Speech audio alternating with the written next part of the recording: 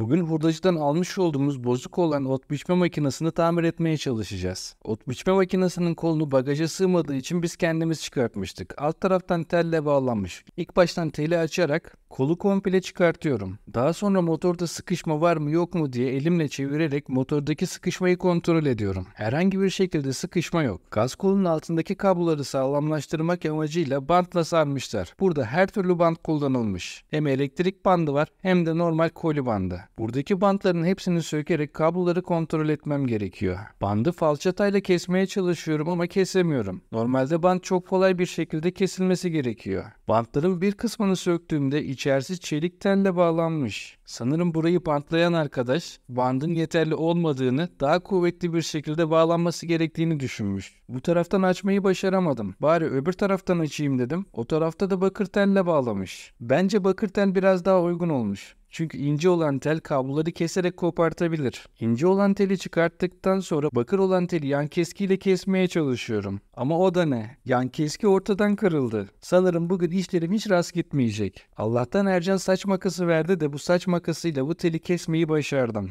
Zaten tahmin ettiğim gibi oradaki ince olan çelik tel kabloları kopartmış. Hem de iki ayrı yerden kopartmış. Şimdi gaz kolunun içerisini açarak içerisinde ne var ne yok onları da kontrol etmek istiyorum. Üzerinde birçok vida var. Bu vidaları teker teker çıkarttıktan sonra kapağı rahat bir şekilde açabiliyorum. Vidaları çıkartıp kapağı açtıktan sonra içerisinde sadece bir tane buton olduğunu gördüm. Kullanımı gerçekten çok basit. Böyle basit olan özellikle olmayan araçlar çok hoşuma gidiyor. Çünkü tamiri de çok kolay oluyor. Fişten gelen ve butona bağlı olan soketleri yerinden çıkarttım. Motor kablolarını ölçü aletimle test ettiğimde motor sağlam gözüküyordu. Butonu kontrol ettiğimde buton da sağlam. Şimdi yapmam gereken sadece buraya fiş ve kablo bağlamak. Fişten gelen mavi ve kahverengi kabloların uçlarına birer tane soket takıyorum. Daha sonra bu butonu yerine takıp kontrol ettiğimde gayet güzel bir şekilde çalışıyor.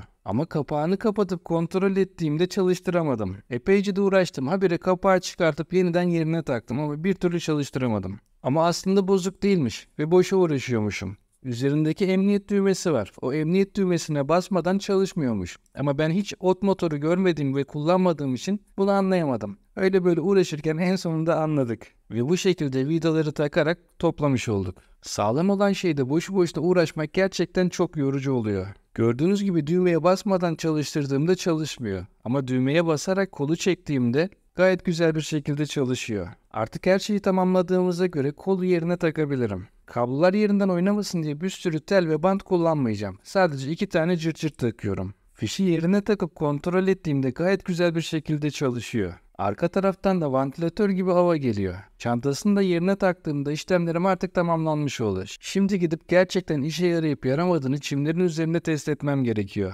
Tamir ettiğimiz çim biçme makinesini çimlerin üzerinde de test ettiğimizde gayet güzel bir şekilde çalışıyor. Ama çantası küçük olduğu için hemen doluyor.